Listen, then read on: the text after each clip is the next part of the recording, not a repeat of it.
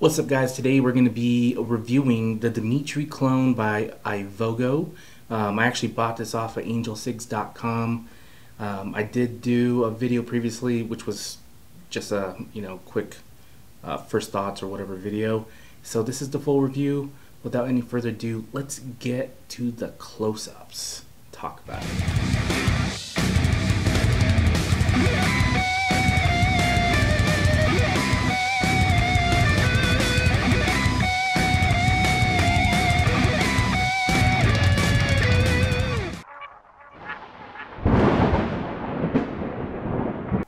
This is the box that the Dimitri clone by Ivogo will come in.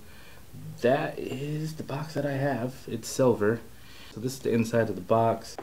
Um, you do get an extra 510 connection or connector or whatever. Yeah, 510 connection, right? Yeah, which is cool. Uh, I guess according to a review I saw on the original versus the clone, a lot of folks were having issues when they would remove any of their atomizers off of the 510 connection basically what was happening is it was unscrewing and pulling out that 5 actually just pulling out the 510 connection I haven't personally had any issues in a month one month that I've actually had this um, this box mod.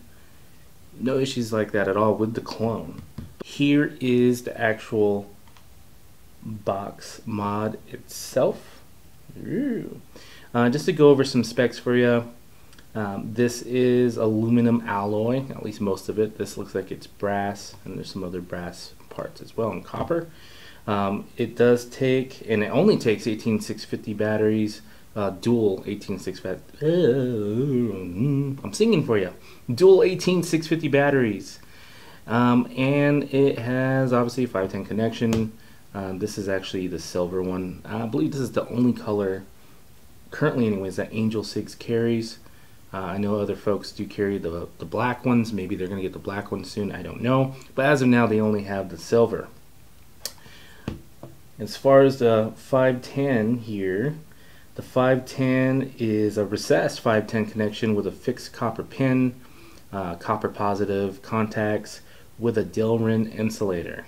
Yep, I said Delrin right. I know I did a, a video where I said, I think I called it Derlin. It may have been even on this device. I don't know, or this box. I don't know, but yep.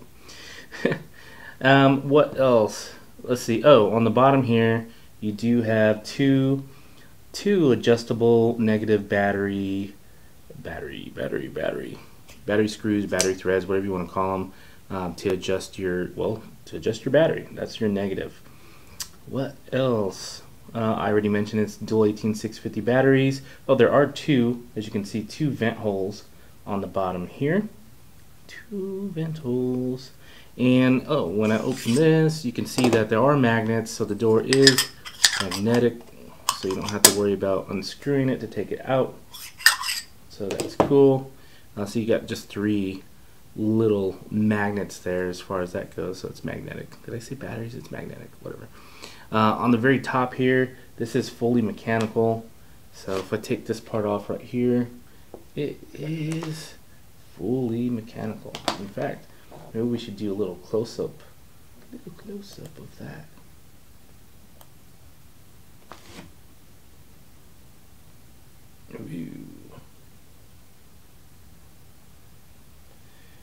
There you can see, fully mechanical. There's one magnet. Let's just pull this back a little more. There you go, magnets. Again, here's the Dimitri logo on there. And a closer look of the 510. Got some juice in there, don't mind me. Um, Delrin, obviously, insulator, and copper contacts. I'm kind of shaky today, and that's brass. Brass. Alright, so let's change the view. Do, do, do, maybe this white background is a little crazy, huh, guys? um, what else? I mean, that's pretty much it, guys. To be honest, um, there's no wiring. It's, it's a it's a true mechanical device.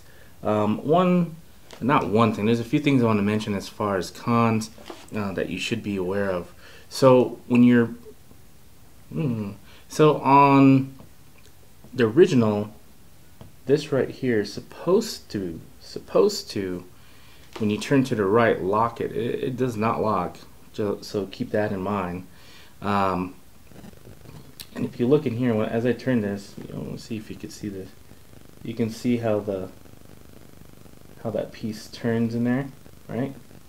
So one thing you want to keep in mind even when you're you want to keep it all the way to the left basically uh, if you want it to fire correctly.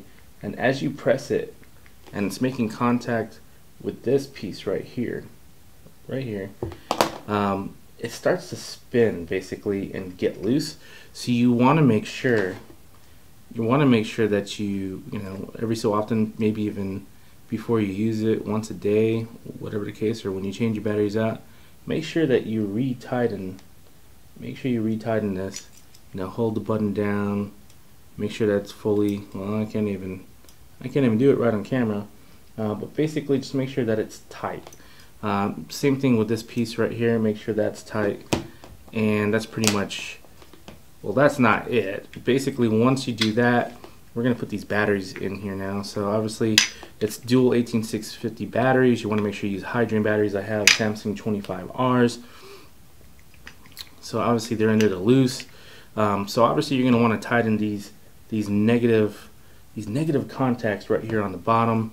Uh, looks like they're do do do do. What are they? What are they? Uh, silver coated. Is that the word? Silver coated? Sure. Yeah. All right. Anyway, so when you tighten these, you're gonna want to make sure that you you don't want to over tighten them, but just make sure they're snug. Oop, if I can can't find the hole. That's what she said. Okay. Make sure it's nice and tight. Um, the tighter the better. Tighter the better? Did I just say that? Yeah. Well, I just lost my screwdriver, but that's okay. Oh. Weird noises today. Weird noises, guys. Noises. Noises. Uh, so there we go. So we're gonna put on, put this on here. I'm gonna put the Derringer back on, and see if she'll fire. Mm, okay. So we got that in there, and of course, you know, obviously it's it's it's fully mechanical, right? So as you press this, there, it's working. It's working. All right, put this back on. Oh, can I even put this back on? I don't even know what I'm doing. Oh, oh, oh. oh did I do something wrong here? I don't know. It's not going back on. Wait, that doesn't even make sense. Whoa, whoa. okay. Well, I just made a boo-boo, which will, uh, there we go. So apparently when I tightened it, I actually pushed over onto this lip right here. So make sure that you hold that down as you actually tighten these, or you'll do what I did. And it basically went over the lip and, and the back piece was not going on. Boy, boy. Yeah, you've seen it here. So don't do that. Don't don't do what I do, basically. There we go. So now it's back on there. There it is. Fires just fine and dandy. Um, I mean, that's all I can really show you about this device. The other thing to keep in mind uh, when you are using the device, as you can see, since it's a fixed 510, you can't set it up where you have your air air hose facing off to the sides. Um, so you will get some excess juice right here in between the actual switch or the button and your uh, atomizer. And also keep in mind, uh, since it's fully mechanical, you can easily take it apart and make sure that you clean everything up, like the threads and all that. You're going to want to check it at least once a day.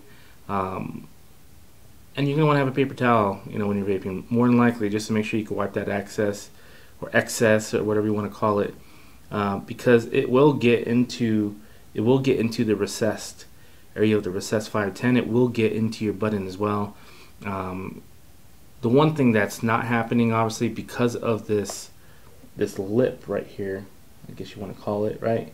Uh, I haven't had any issues with juice flowing in this way into the batteries. I've, I haven't had any issues with batteries getting juice on them at all. But just fair warning, just so you know that you will get juice, just like pretty much every atomizer and every uh, device that you have anyways, it probably happens, but with this, because it's fully mechanical, um, you are able to take it fully apart so you can clean it out. I would suggest that. I've had it for a month.